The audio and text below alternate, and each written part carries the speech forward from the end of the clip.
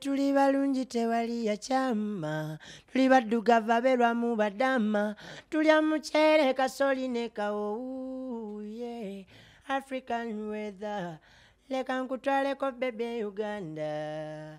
Kunoogere enkene n'amapeera uganda zabu nsi ya gurini enkuba etonnya n'akasana kaka nsindo ninyweza. Wokutte wewoba mbitonta mweweke ku mugongo.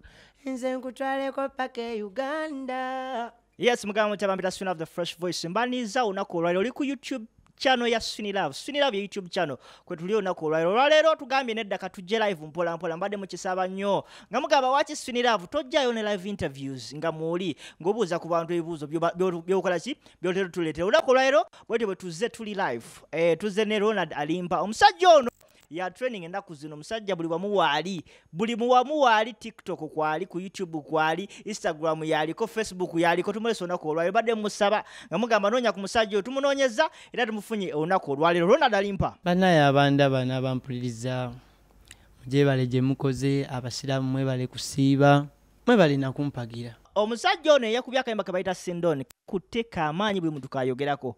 Yes naye emabega kaawo katono njo zennaku nga bbiri lunaku lumu emabega wa- twafunye kyalimba luno nti wali abagenze ku youtube channel ye ye eya ronald bajja oluyimba luno twagala kumanya.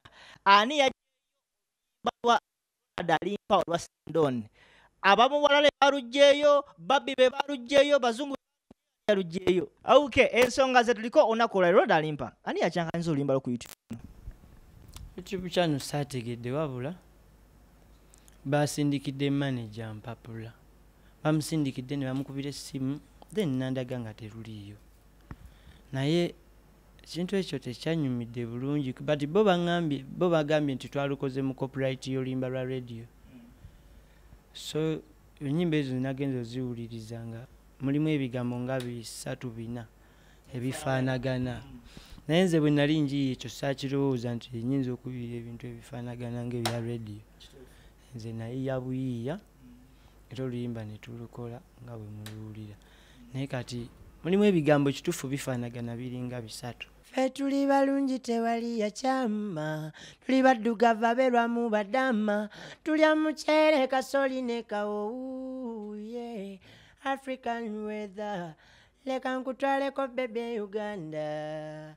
Kunoogere enkene n'amapeera uganda zabu nsi ya gurini enkuba etonnya n'akasana kaka. Nsindo ninyweza wokutte wewoba mbitonta. Mweweke ku mugongo nze nkutwaleko paka e uganda